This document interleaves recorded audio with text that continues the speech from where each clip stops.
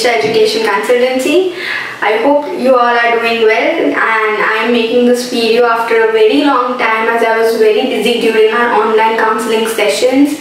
So today I decided कि मैं एक अलग वीडियो बनाऊँगी comparison between Russia and Georgia because हमारे पास काफ़ी सारे students आते हैं and they ask मैम हमें रशिया जाना है but they don't know what is the reality and कैसे किसी दो कंट्री को कंपेयर करना चाहिए। Because students are confused and you know parents are confused as well कि कहाँ जाना चाहिए, कैसे जाना चाहिए। So today you be getting a clear idea about two countries where are be comparing from the fee structure regarding the country everything will be compared in these two countries so starting with the video तो the first topic is के duration क्या रहता है? Russia में भी हमारा M six years का रहता है and same is with Georgia के, वहाँ पे भी सिक्स ईयर्स का ही एम बी बी एस होता है।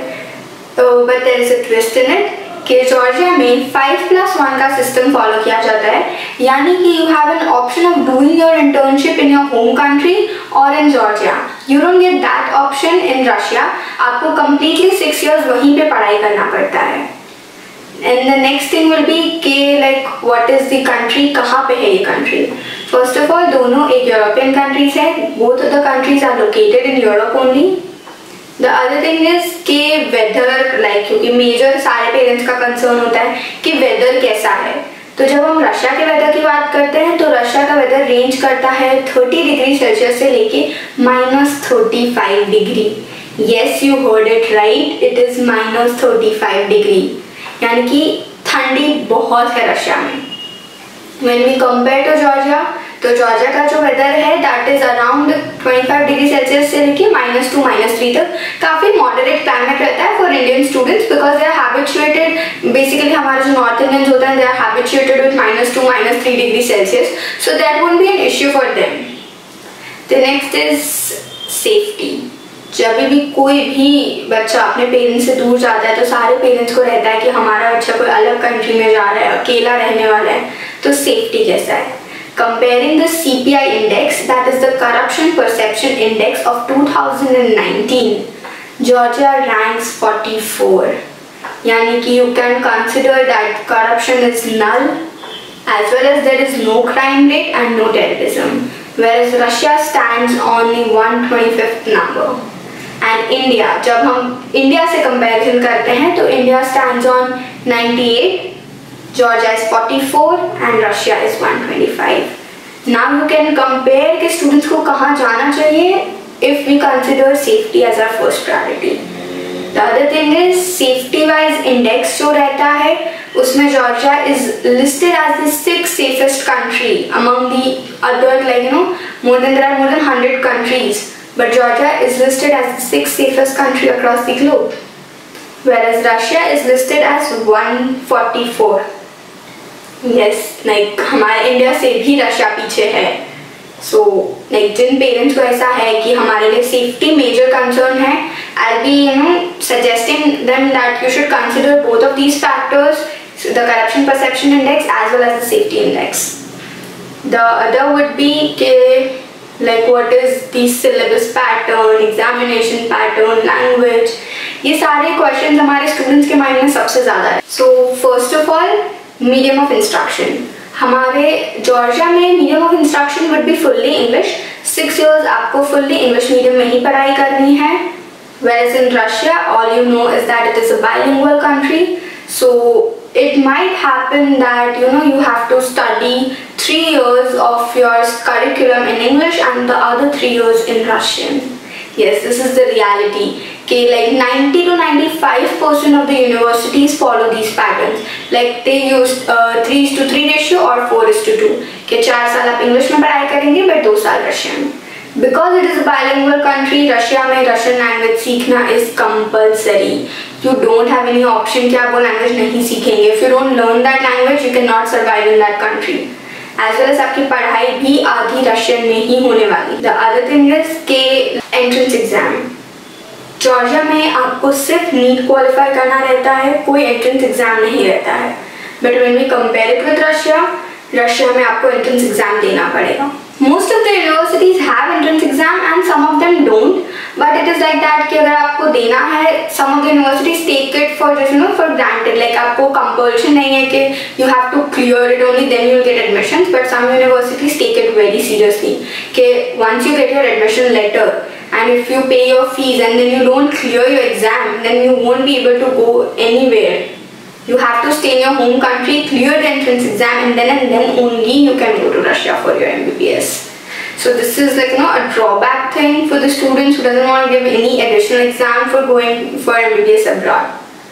The other thing will be case syllabus kaisa hai. Georgia Main there are four universities which are following USMLE syllabus. That is the United States Medical Licensing Examination syllabus. Whereas in Russia people and like mostly in Georgian universities also they follow European syllabus. And in uh, Russia as well they follow the European syllabus which is similar. Both of these universities follow the ECTS system that is the 3 credit, 360 credit system. So it is similar but the four universities which I'll be more emphasizing on is the USMLE based syllabus because that will be covered in the next point. It is the FMGE passing ratio. ये सबसे like you know concern question रहता है students का कि once we go out then what will be R F M G ratio like वापस आने के बाद हमें काफ़ी सारे स्टूडेंट्स को सिर्फ़ इंडिया वापस आना है।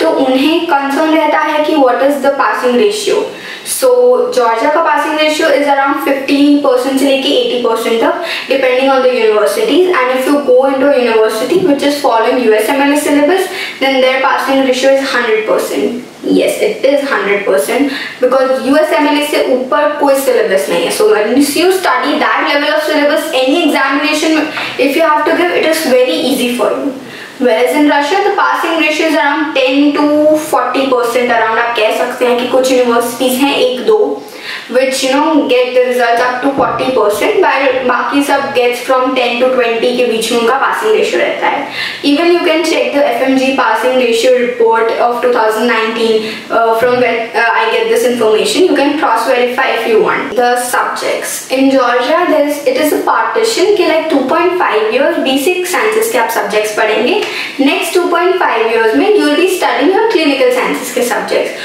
so there is no additional like Georgian subjects or anything.